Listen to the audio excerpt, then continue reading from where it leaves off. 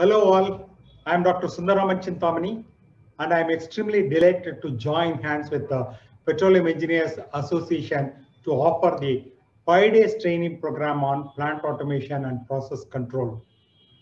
This course will be useful for budding chemical engineers, instrument engineers, or even mechanical and electrical engineers who are planning to work in process plants, petroleum refineries, petrochemical plants, and power plants. On the very first day, I'm going to talk in length about the piping and instrumentation diagram, or in short known as P&I diagram. P&I diagram is the mother diagram for all process engineers and instrument engineers who are working in the process unit. It has got so much of information. Whatever you see in the plant, whether it is an instrument or any fitting or valve, that will be reflected in the P&I diagram. I'm not only going to talk about how the P&I diagram gets evolved from the conceptual stage, but I'm also going to discuss in length about how to study a P&I diagram.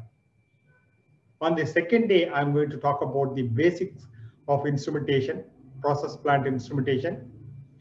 We are going to discuss about open loop, closed loop, sensing element, PID control, final control element, etc. On third day, we are going to discuss in length about various control strategies used in process plants. With the help of a simulation package, we are going to discuss about on-off control, cascade control, split range control, ratio control, three element control, etc. And again, on fourth day, we are going to discuss about uh, the different aspects of a DCS system, which is known as distributed control system. Various features like graphics page, alarm page, control group, tuning panel, alarm summary, etc. would be discussed in length. On the last and concluding day, we are going to talk in length about the process historian. Process historians are nothing but a real-time database that helps you to disseminate the real-time or near real-time information from the control room to the different stakeholders known as process control, process plant engineers or planning engineers. The benefits of historians we will be discussing.